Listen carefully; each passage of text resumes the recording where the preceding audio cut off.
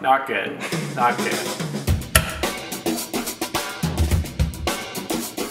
We thought it was time to bring things back to the basics. Whether you're a novice or a seasoned home barista, we're here to guide you through how to pull the perfect shot of espresso. Hi, I'm August with Clive Coffee. Today we'll be discussing the tried and true fundamentals of espresso, answering some of the most frequently asked questions, busting myths, and telling you what's important. Ready? Let's get started. An espresso recipe consists of three things, dose, yield, and time. Using a scale and measuring these elements in a recipe will help you replicate a great shot and quickly troubleshoot when issues arise. First, we'll set the dose. Our dose is how much ground coffee we're putting into our basket. Choose your dose based on the basket in your portafilter. For single baskets, use a dose between 7 to 10 grams of ground coffee, 16 to 18 grams for double baskets, and 20 to 22 grams for a triple. Always grind into a clean and dry basket. To ensure your dose is accurate, set the portafilter onto the scale, tare the scale, grind into the basket, and then place your portafilter back onto the scale to confirm that your dose is within tenth of a gram of your target. Today, I'm using a bottomless portafilter with a triple basket, aiming for a dose of 20 grams. We'll talk more about this in a minute. Once your dose is set, you'll choose your yield. This is going to be the total weight in grams of your shot of espresso. We always recommend weighing coffee in grams, not measuring by volume. The volume of a shot changes based on the coffee used and when it was roasted. Fresh coffee will have lots of crema and weigh less than a shot using older beans.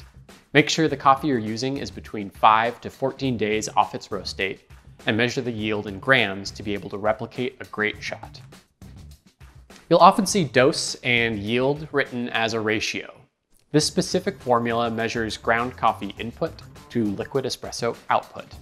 A ratio sets the strength of your shot.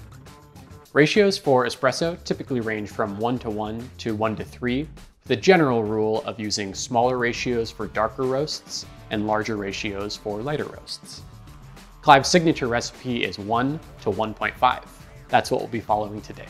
20 grams of ground coffee in our bottomless portafilter to 30 grams of liquid espresso. Time is what ties everything together. This is the total number of seconds a shot takes, including drop time, from the moment you engage the machine's pump until the last drop of your yield. A 1 to 1.5 ratio can taste very different at varying amounts of time. For a rich and full-bodied flavor, aim your shot to pull between 25 and 30 seconds. To make this happen, look to your grinder. We'll manipulate the grind size to change how long it takes for the water to flow through the coffee bed. Think of coarse coffee like stones and fine coffee like sand. If you were to pour water over the top, the water would make its way through the rocks much quicker. Changing your grind will allow you to fine tune the time of your shot. Coffee changes day to day. You'll most likely need to change your grind daily too. As coffee ages, your shots will pull faster, encouraging you to grind finer.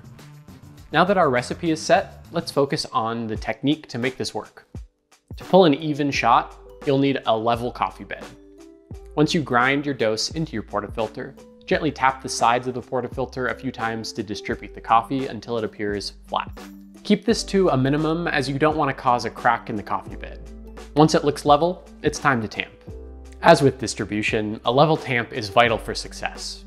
Hold your tamper between your index finger and thumb, almost like grabbing a doorknob. Stand perpendicular to the portafilter and place your tamper into the basket. Your arm should be at about a 90 degree angle. Lightly lean into the tamp, applying slow and gentle pressure. The amount of pressure is not as important as repeatability and consistency. Once you feel resistance, remove the tamper carefully to avoid disrupting the coffee bed. Now that our coffee bed is leveled and tamped, we are ready to pull a shot. No matter which machine you use, make sure that it's warmed up and ready to go. Flush some water through the group head for a few seconds to guarantee that it's hot and clean. Insert your portafilter into the group and tighten it into place until it feels snug and tight, but don't over tighten. Place your scale and cup on the drip tray and then start your shot and timer. Once you reach your yield, stop your shot and note the time. Remember, we're looking for our 1 to 1.5 ratio to pull in 30 seconds. If your shot takes well over 30 seconds, you'll need to coarsen your grind. If your shot time is under 25 seconds, you need to adjust your grind finer. Try tasting every shot you pull, even the ones that aren't perfect. You might discover another recipe that's more pleasant to you. That's the beauty of espresso at home. You're the barista and the consumer. Old towel kind of vibes. Not good. Smell it. Not so bad, right? Perfecting the art of espresso at home takes time, patience, and lots of practice. If you don't get it right the first time, no harm done, just keep trying. Hopefully, this video gives you some new tips and tricks to take back to your machine to improve those shots. If you have any thoughts or questions, feel free to drop them in the comments below. As always, like this video and subscribe for more coffee know-how. Thanks for watching.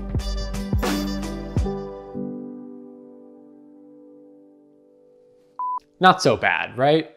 You little baby. Adjust the grind, please. Don't call me.